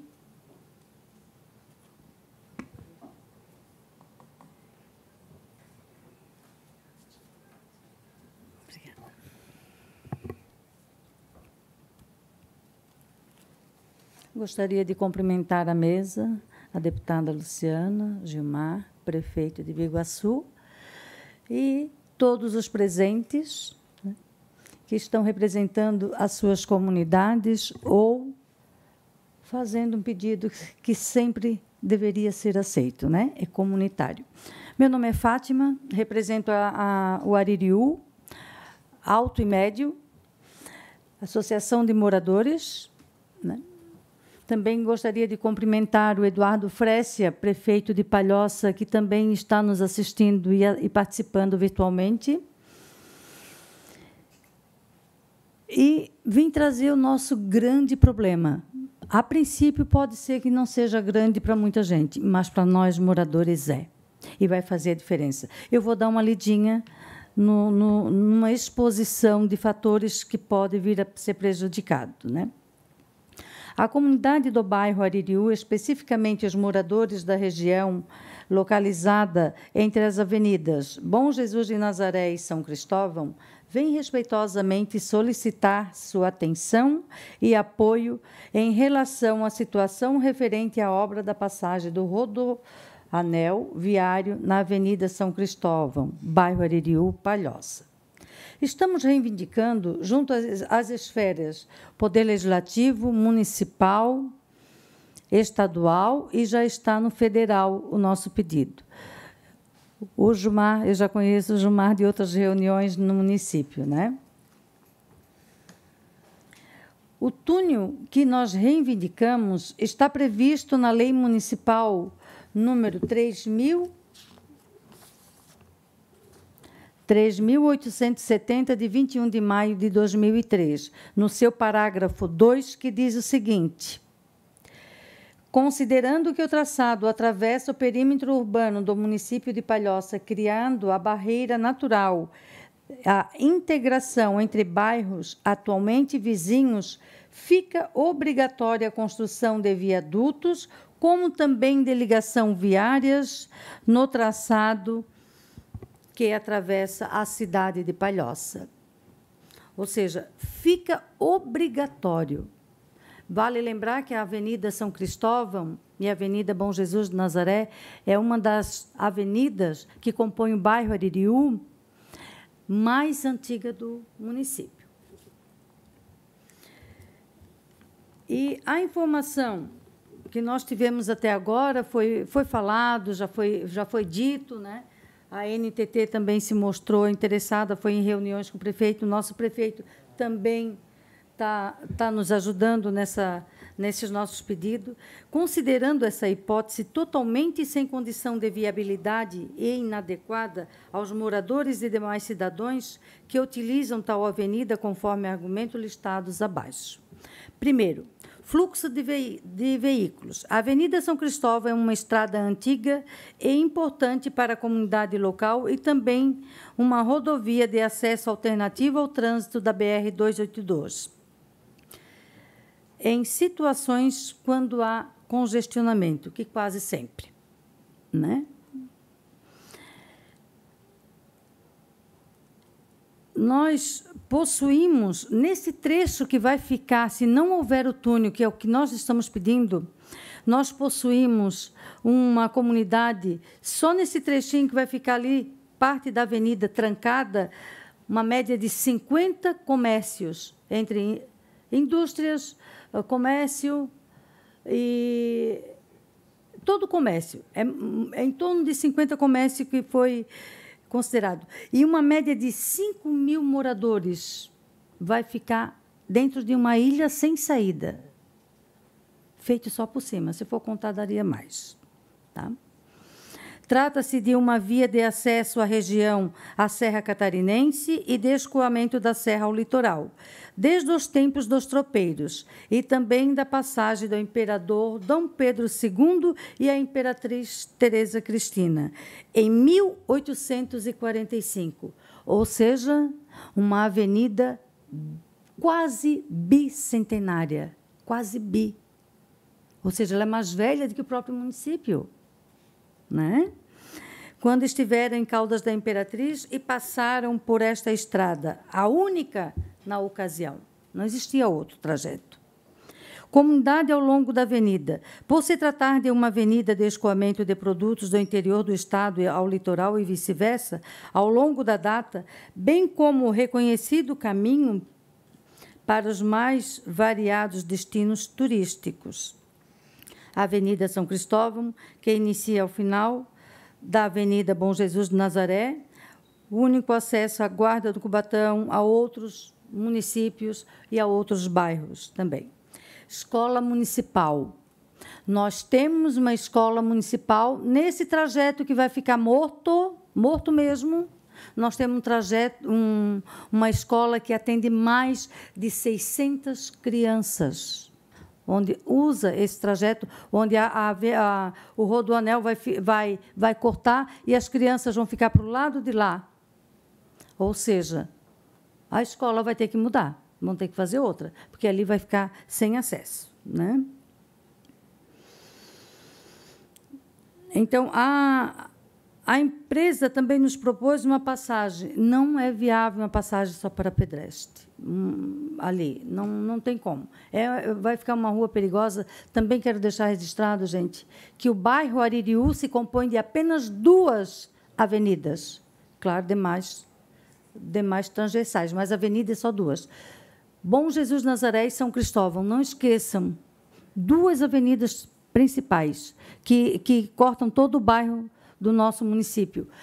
Lembrando que a 282 já cortou a Avenida São Cristóvão, agora o Rodoanel vai cortar a Avenida São Cristóvão e a BR-101 cortou a Bom Jesus de Nazaré. Ou seja, nós estamos divididos em comunidades por três grandes BRs. Gente, não é fácil. A gente já viu os problemas que deu lá em 1970 a construção da BR-101, já sofremos com aquele impacto, já sofremos com a 282, né? o concluindo, impacto. Concluindo, por favor. Concluindo? Tá. E, e, e para concluir, nós temos, só mais um pouquinho, os nossos eventos religiosos. Nós temos uma igreja que atende todo aquele pessoal nós temos uma, um ponto turístico que é a Gruta do Aririú, deslocamento de moradores né, para trabalho, posto de saúde vai ficar do outro lado, nós vamos ficar sem acesso. E, para concluir, nós estamos à disposição para recebê-los em nossa comunidade e apresentar-lhes a situação no próprio local para que conheçam nossa realidade mais de perto e como vai ficar. Muito obrigada. E obrigada, Maria de Fátima. Queremos levar uma solução. Sim. Temos também uma carta para entregar no final? Sim, sim. Tranquilo. Obrigada a todos. Obrigada. O Acácio está contemplado? Ótimo. Ok, então. É, a Carla Aires, nossa vereadora de Florianópolis, que também foi proponente desta audiência.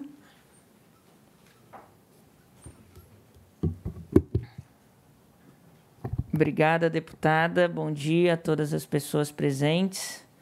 Na figura da nossa deputada Luciane, gostaria de cumprimentar a mesa e também a quem nos acompanha e começar parabenizando não só a deputada, como a toda a bancada do Partido dos Trabalhadores por propor essa audiência pública para discutir esse tema tão necessário, porque, como algumas falas já apontaram, nós estamos há alguns anos sem um órgão responsável justamente por colocar todo mundo na mesa para discutir esse assunto.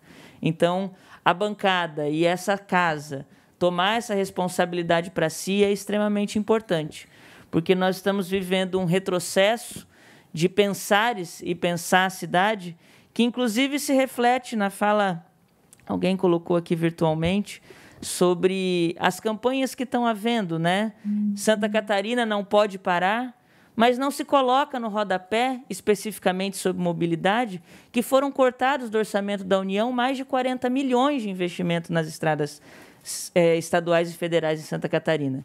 Então, não pode parar, mas não se questiona a falta de recurso nesse sentido.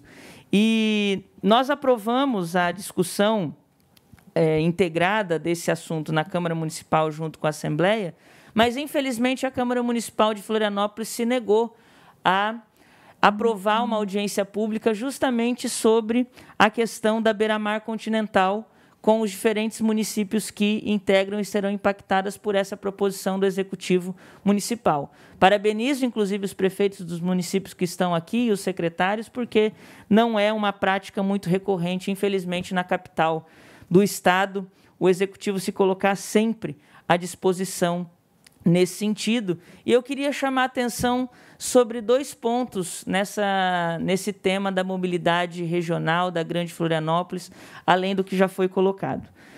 Em primeiro lugar, que a falta do PLAMUS, por exemplo, é, e a falta de discussão de infraestrutura no Estado, não nos mostra uma realidade que eu acho que é importante a gente se voltar para ela entre 2008, de quando a concessão para a realização da obra foi feita e o início das obras em 2012, e a realidade da região do, 10 anos, 12 anos depois.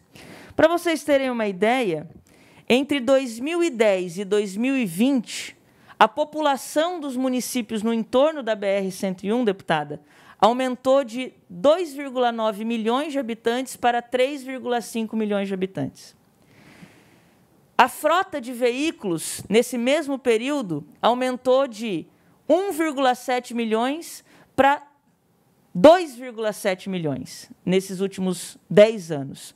Portanto, o estudo de impacto que foi feito para iniciar as obras em 2012 já é outro agora em 2023, 2024, quando essa obra vai ser entregue. E este aumento está, sobretudo, concentrado na região metropolitana de Florianópolis. Então, mais uma vez, é importante que a gente, para concluir, para que a gente torne sim a nossa atenção voltada para a mobilidade dos municípios e da integração dessa mobilidade. Porque, sem dúvida nenhuma, dez anos depois, essa obra só vai ser viável para tirar, escoar realmente o tráfego pesado. Porque o tráfego pendular da região metropolitana continua adensando todos os dias. E qual é a solução que os municípios vão apresentar? Acho ótima a ideia, e acho que isso tem que sair daqui, de que se estabeleça fortemente um GT ou uma mesa de discussão sobre isso e fixar que não dá. A gente precisa retomar a ideia de 2016 de um plano diretor integrado. Não adianta Florianópolis discutir um plano diretor de adensamento da cidade, de verticalizar a cidade, de colocar mais gente para morar na ilha ou na nossa parte insular, sem pensar o impacto que esse adensamento vai ter para as outras cidades. Então, que se discuta rapidamente este sistema integrado, que se discuta a questão marítima que já está atrasada há muito tempo, inclusive sabemos que tem licitação, mas não sabemos como que isso está se dando com os outros municípios e que a gente coloca a nossa bancada e o nosso mandato à disposição da, das reflexões que essa casa for promover, deputada Luciane, para toda a bancada do Partido dos Trabalhadores e dessa comissão aqui na Assembleia também. Muito obrigada. Obrigada, vereadora. Eu passo a palavra ao Mários Bagnatti para fazer sua manifestação. Depois o Ari Martins e terminamos com o Lino. Essas são as inscrições desta manhã.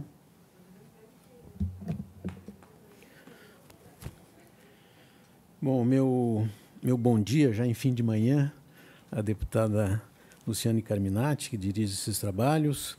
Parabenizo a Comissão de Transporte da Assembleia por ter promovido essa reunião importante. É, cumprimento também o representante da NTT, o Gilmar Cardoso, e o prefeito é, Salmir da Silva de Biguaçu, que tem sido um companheiro do Condes. Para quem não sabe, o Condes é uma instituição da iniciativa da, da do, do poder, né, do poder da, é, das entidades civis, é, é, composta por 38 associações de classe, é, representações tanto do CDL, como está aqui representado pelo Hélio Leite, Associação Comercial, Fiesc e outras importantes instituições que têm um único interesse, que é a melhoria da qualidade de vida aqui da região.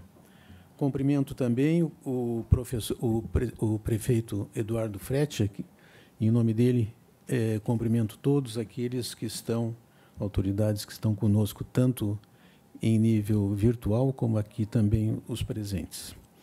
É, eu acho que foi aqui colocado é, e já está sendo tirada um, tirado um encaminhamento que é de se colocar todos os projetos existentes né, numa mesa para discussão, formar um grupo, como falou a, a vereadora Carla Aires, né, acho que é importantíssimo isso. É, eu penso que esses dados que foram trazidos, por exemplo, do crescimento populacional ao longo da BR-101, né, passando de 2,9 para 3,5 milhões de pessoas, bem representa o problema que nós vivemos na nossa região. Florianópolis hoje já não é mais uma região conurbada, não é somente uma, uma, uma, uma, uma região onde os assuntos podem ser tratados individualmente. Ele é considerado pela pelo IBGE uma metrópole, porque existe já a integração dos problemas. Né? Então, eh, nós temos defendido, inclusive, que se faça a próxima discussão do plano diretor, que haja uma, uma discussão do plano diretor integrado todos os municípios. Né? É, esse crescimento havido nesses anos, principalmente aqui em Florianópolis, mas mais particularmente ainda nas cidades do seu entorno, é, São José, Biguaçu e Palhoça, é, terminaram causando uma ocupação irregular, né? e concentrado principalmente nos, nos municípios do outro lado da ponte, onde o valor da terra era menor. Qual a implicação disso? 60% dos empregos da região metropolitana estão dentro da ilha de Florianópolis. Isso precisa mudar. E o mudar, nós temos defendido, e aí temos conversado já com, com o prefeito Salmiro, com o Eduardo Fretia também, é, nós precisamos ter um plano diretor específico para as áreas no entorno da via de contorno, para que se evite problemas que terminam depois estourando na mesa do prefeito. O prefeito, o prefeito Eduardo Fretia é, tem esse problema apresentado pela Maria de Fátima aqui, tem procurado resolver juntamente com artérias e, e precisa ser encontrada uma solução para uma população que está sendo é, isolada né, da, das atividades e do seu entorno. Nós, é, o que nós defendemos no Condes não é um plano diretor que tenha é, interferência no plano diretor da cidade, mas dessas novas áreas né, que serão, é, digamos assim, utilizadas é, nos próximos anos. O, o PLAMUS, que é o Plano de Mobilidade Urbana Sustentável, que foi desenvolvido pela SUDERF, ele já previa a criação das centralidades. Um bom exemplo disso é a Pedra Branca ali na Palhoça. Né? A Pedra Branca hoje, embora não seja completo, mas de qualquer forma já contempla a moradia, a habitação e trabalho, de forma que as pessoas não precisem necessariamente estar utilizando o transporte coletivo. Né? O Valdir sabe bem que aqui representa uh, o transporte Imperatriz. Quando se coloca uma comunidade mais distante, porque é assim que se faz, que não, o preço da terra é longe, quanto custa o transporte? É o custo desse transporte, né? É difícil fazer o atendimento. E isso termina onerando todo o sistema. Então, é, o que nós propomos é que se faça essa discussão para que essas áreas sejam adequadamente utilizadas, inclusive é, promovendo o desenvolvimento econômico da região, que tenha uma, uma ocupação ordenada, organizada e integrada entre os três municípios. Era isso que eu tinha para apresentar, te agradeço.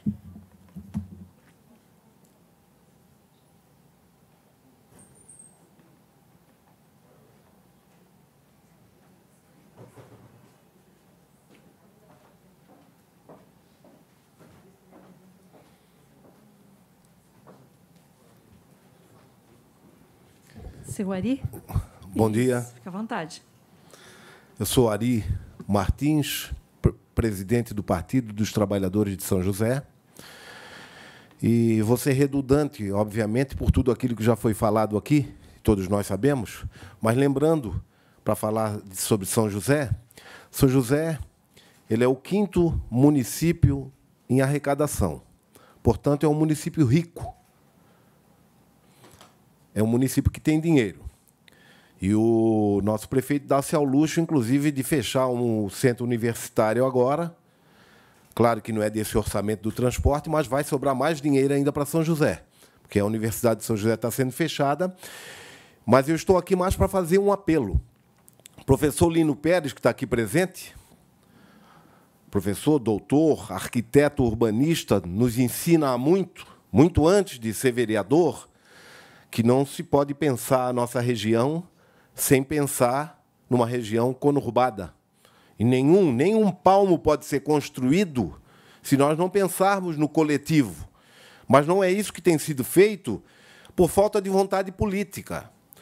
São José tem, nós temos vários bairros que têm que se dirigir ao município de Florianópolis para ir voltar para São José. Isso não é porque está dependente de uma decisão do Estado, isso é por falta de vontade política. Então, o apelo que nós fazemos ao nosso prefeito, que deveria estar presente aqui, obviamente deve ter os seus compromissos, mas queremos que ele participe das decisões mais importantes do município, e essa é uma das decisões mais importantes, em virtude daquilo que está acontecendo aqui nas construções das rodovias, é que ele se debruce sobre o projeto, conversando com os municípios vizinhos da beira-mar de São José, que é algo que vai mudar a realidade. Porque hoje nós temos ah, os modais que estão chegando aí, tardios, mas estão chegando, e tem que ser integrados, mas nós não podemos integrar onde não há possibilidade de integração. Como é que nós vamos integrar para, uma, para diminuir o fluxo de veículos que estão entrando e saindo de Florianópolis se nós não tivermos um transporte coletivo decente, humanizado, adequado para integrar com os outros modais que estão chegando, inclusive para evitar, conforme falou o nosso representante da NTT, para que a, no, a nova rodovia não seja uma válvula de escape de novo, como tem sido as outras rodovias, e perca a, sua, a sua finalidade de origem. E isso vai acontecer se nós não resolvermos o nosso problema da região conurbada. Então, nós temos muito o que fazer, e é um apelo que, que, que, estamos fazendo aqui é, como um partido político, mas nós pensamos São José. Nós não estamos aqui para fazer críticas apenas. Nós pensamos São José diariamente. Então, que se reúnam, que façam esse fórum, como falou a senadora Ideli, tem que ter um fórum específico, um organismo que trate desse assunto e com urgência. Já é tardio. Então, eu quero agradecer a oportunidade de estarmos falando sobre isso e que, insisto, o prefeito se debruce sobre essa questão da, da beira-mar continental para dar essa continuidade e pensar nos modais aí que vão integrar os municípios para melhorar a vida do nosso povo. Muito obrigado. Obrigada, Ari. Agora, por último, Lino Pérez. Depois eu vou propor um encaminhamento. Vamos ver se tem acordo aqui entre todos. Bem, boa, bom dia aqui a todos. Quero cumprimentar aqui a Carminati né, pela comissão de viação e cumprimento todos os demais da mesa, as autoridades, todos aqui presentes. Também aqui, a, bom, todos os que formam os partidos, associações, enfim, que estão aqui presentes. E, particular e especial, que me chamou a atenção, aos moradores de Aririu, que é porque eu queria colocar esse ponto que sempre se esquece e se não se considera os moradores, as populações locais. No modelos militares das BRs, por exemplo, era modelo vertical de cima para baixo, que não se considerava as, as horizontalidades, as territorialidades dos locais. Então se passava via direto, aquela visão militar que se tinha. Depois houve, houve uma virada disso e hoje tem uma cultura um pouco mais, um pouco melhor de considerar a integração das populações locais, tem as suas culturas, enfim, então, eu quero colocar aqui que é, do governo, inclusive na época do governo Lula e da Dilma, que, que veio com o Estatuto da Metrópole, começou, e já chegou tardiamente, já começou a se pensar de uma forma integrada, mas não uma obra em si, de cima para baixo, mas moradores. E aí eu queria colocar, destacar que essa questão do fórum já foi colocado várias vezes, viu? Tudo está se colocando aqui, já, eu assisto mais de 15 anos. A questão do fórum, integrar os projetos, não é, não é novo também, ok? Eu concordo com a, com a deputada Marlene, com a nossa aqui, a senadora Ideli, é, a Carla também colocou nessa mesma direção, é que tem que ter um, um, fórum. Isso é urgente, mas isso aqui já foi colocado.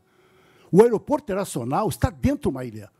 Na época, nós denunciávamos isso, eu, como arquiteto da Universidade, aliás, me esqueci apresentar, eu coordeno o grupo da mobilidade urbana da Universidade Federal, tem o professor Werner, do Observatório da, da, da Mobilidade Urbana. Nós colocamos tudo isso que está colocando, já foi, já foi levantado. A região metropolitana, ela demorou primeiro a ser região metropolitana. Segundo, quando foi colocado, demorou a ser regulamentado. Terceiro, quando foi regulamentar, cada um disputava os seus os prefeitos, porque pensam os prefeitos uma, uma bolha. Cada um na sua bolha. O Colombo projetou um projeto, na época projeto, na Bienal Norte Continental, que era milenário aquilo. Nós, na época, protestamos e ele parou com aquilo. E vários projetos fragmentados, não vou aqui citar todos, e esses mesmos governadores diziam tem que ter projeto integrado, metropolitano. Ah, bom, eu tô, há muitos anos que eu falo isso. Então, eu quero colocar aqui que isso aqui é retórico, muitas, muitas coisas estão colocadas. O Ronélio, desesperadamente, colocou a questão do transporte marítimo na palhoça, chegou a trazer uma empresa, e chegou, aí o que, que é? Disputou, brigou, com, deu problema com os, com, os, com os, municípios vizinhos, os prefeitos não se entenderam. E aí o transporte marítimo está há 40 anos, esse, esse, projeto, gente. Então, o fórum, tudo bem, vamos disputar, vamos, vamos, vamos implantar, mas tem que ser sério. Porque na hora das eleições tem as obras que são mecanismos disso. A verticalização, quero colocar o adensamento da ilha, que o atual que bem levantou a vereadora Carla, que está colocado, são os mesmos que estão levantando o discurso metropolitano, mas também induzem a implantação para dentro da ilha. Eu quero, como arquiteto, colocar que antes, para terminar, de um plano de mobilidade urbana, nós temos que pensar o plano das funções urbanas. Ou seja, aonde vou colocar os grandes polos é, de, de desenvolvimento. A centralidade, é muito bonita a palavra aqui que levantou o Magnati. Isso é um discurso antigo. Mas quem induz a centralidade? Na ilha fala centralidade, mas quem? O, os grandes eh, shoppings aqui ao longo da BR-101 estão criando centralidades. Mas eles fazem sem nenhum plano diretor. Assim como dentro da ilha estão criando centralidade, mas quem está induzindo é o setor imobiliário para dentro da ilha, explodindo a ilha. Não a centralidade que nós estamos falando. Então, muitos arquitetos ficam, passam mel na boca dos empreendedores, porque falam centralidade, mas não é que nós estamos referindo. É a centralidade a partir das populações que realmente têm os serviços próximos, e não para verticalizar usando a centralidade. Não se entenderam. Os mesmos termos. O Estatuto da Cidade fez 20 anos, mas os, os grandes os interessados acabam com o Estatuto da Cidade usando o mesmo discurso do Estatuto da Cidade. Então, eu me, expor, eu me disponho a estudar mais uma vez. Eu critiquei tantas vezes e paramos, eu me orgulho na universidade de parar vários projetos que eram megalomaníacos. Com o senhor o Luiz Henrique falecido, o Colombo também é o responsável. E, e. O Plamos foi o grande, primeiro do estudo de origem e destino e foi parado. Porque não se entenderam. Então eu quero colocar na minha disposição da SUDERF, da integração, o arquiteto está quase 80 anos, o Rebolo, está lá desesperado, isolado dentro da Secretaria de Desenvolvimento Urbano e Metropolitano do Estado. E ele está sozinho em voz solitária. Então, a que nós estamos referindo aqui? Qual é o sujeito dessas frases? O transporte, o aeroporto internacional, para mim, é os maiores. Ele devia ser numa região metropolitana, como tem nas grandes regiões do país, e está dentro de uma ilha. Para mim, isso é o pior caso que nós temos colocado. Tá? Então, aqui, isso aqui é retórica. Vamos continuar até quando com essas retóricas? Os mesmos que falam aqui são os mesmos indutores que levam a concentração para dentro da ilha e não fazem um trabalho de descentralização. Um aeroporto devia ser em Tijucas, devia ser repensar esse, esse modelo descentralizado para valer. E onde é que estou, eu pergunto para terminar, o pós-anel viário, como é que fica a BR-101, depois do anel viário implantado? Como é que fica? Uma, eu vou, vou colocar aqui, viu? O AMIN, viu? Eu quero dizer, há 15 anos ele falou, cuidado, embora a mim, ele disse assim, cuidado com o anel viário, vai explodir o setor imobiliário. Ele falou isso na época. E aí, que foi, levantou muito bem a nossa ali. Exatamente isso aconteceu. Onde é que está o plano para evitar a especulação imobiliária? De um que levantou muito bem o Magnate. Um, um, um plano diretor nas vias para evitar a especulação imobiliária. Tem que ter um fundo de terra metropolitano para o quê? Para evitar que depois explodiu, os preços vão lá em cima, como a ilha sofre há décadas. Tá? E o prefeito vendeu 51 terrenos no norte da ilha. Eu quero aqui denunciar. Quando os técnicos do planejamento diziam nós precisamos do fundo de terras para poder fazer um planejamento urbano e vender as melhores terras no norte da ilha. Estou dando um pequeno exemplo. Então, o que é que está por trás disso? Nós sejamos sérios. Senão nós estamos usando, daqui, preciso terminar, vamos usar os mesmos conceitos daqui a 15, 20 anos, novamente. Como diz a Carla, muito bem colocado, o que aconteceu? Já tinha esse problema lá atrás. Quando nós resolvemos, vai corrigir novos problemas. Onde é que está o plano urbano, intraurbano da BR-101 pós-anel? Tá? Isso eu queria perguntar aqui também. Eu me coloco à disposição como arquiteto, há muitos anos estudando esse assunto, para a gente realmente sair da retórica. Tá? Isso que é importante. Obrigada, Lino. Eu quero agradecer a presença de todos e todas. Acho que tem um acordo aqui no, nas falas, né, com relação aos encaminhamentos. Sim? É, Ideli está pedindo. É, tem que falar no microfone para ficar gravado.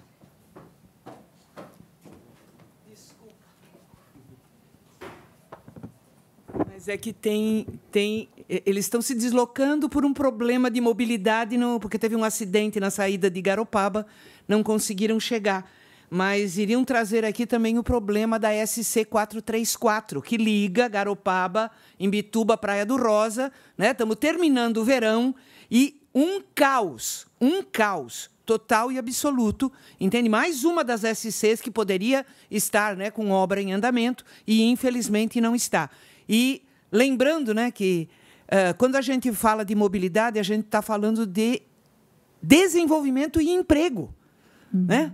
Então, é, é, sabe, quem conhece ali a região Garopaba e Praia do Rosa sabe do, do que, que a gente está falando. É, é, turismo de alto nível internacional que a gente perde, né? Porque o cara vem uma vez, não volta, né? Porque vai ficar no parado na, na estradinha esburacada durante horas. Então, ok. É, feito o registro aqui também né, da situação de Garopaba, que o pessoal estaria aqui na audiência. Bem, é, então, qual é a proposta de encaminhamento? Em todas as falas ficou evidente algo que não é novo, como bem falou o Lino, né, que é, é um grupo de trabalho, um fórum, uma instância. Essa formatação a gente ainda tem que ver. Né? Mas o que importa é colocar todo mundo na mesa, é, todos os que respondem pelos municípios e as representações, inclusive que aqui se manifestaram, né? nome é, do Mários, que falou também, né? Dando um exemplo aqui de não é só prefeito que tem que estar nesse grupo, né? Eu entendo dessa forma que a gente precisa fazer com que as coisas também venham, né? No sentido da representação da comunidade. Então, é, o meu encaminhamento é de que nós uh, propusemos ainda para o mês de março a, a, perdão, ainda no, até a primeira quinzena de março, a primeira reunião deste fórum. E aí a comissão de transportes organiza essa primeira reunião, tá? Para chamar as representações. Depois, na reunião, eu defendo que se tire uma coordenação. Mas aí é na reunião se tire uma coordenação com quem vai, de fato, integrar esse grupo com a responsabilidade não é de representar fulano, beltrano, ciclano, porque também não se resolve nada. Né? A gente precisa que as pessoas que venham tenham a condição de responder né, como, uh, como representação dos municípios e dessa integração. Então, a minha proposta é até 15 de março, dando um prazo aqui, porque nós temos duas semanas praticamente, né? duas semanas para que se convoque a primeira reunião e aí a comissão faz essa primeira reunião, convoca, depois nós tiramos a coordenação. Tá? Tem uma instância de governo que foi criada, foi esvaziada, foi mencionada, inclusive, aqui em várias falas, a SUDERF. Né? A gente precisa colocar na pauta se é ou não quem vai chamar essa coordenação, mas uh, entendo que esse é um bom encaminhamento adequado não vamos repetir as falas e as demandas aqui, porque todas as questões que foram trazidas, nós teremos então depois a ata, né, eh, da audiência pública. Então fica o documento oficial com as falas, manifestações, os pedidos que vieram, inclusive dos moradores, está aqui registrado, e também é, os encaminhamentos dados. Pode ser assim? ok? Até a primeira quinzena de março tem que sair a primeira reunião. Eu me proponho, como no, nossa bancada foi autora, eu me proponho a fazer esse diálogo com as autoridades que aqui falaram para estarem nesta reunião. Né? Mas da reunião, depois tem que sair quem vai coordenar e um cronograma para que não fiquemos daqui dois anos de novo com a mesma pauta. Né? A gente precisa fazer o negócio andar. Tudo bem? Então, eu agradeço a presença aqui das autoridades que se manifestaram presencialmente, também virtualmente, também os deputados, deputadas, e é, a Comissão de Transporte é, e Desenvolvimento Urbano fica com essa tarefa, então. Agradeço todas as lideranças que já foram mencionadas, a equipe, comissão, imprensa, cerimonial, todos aqui da casa. Muito obrigada e eu encerro a presente audiência pública.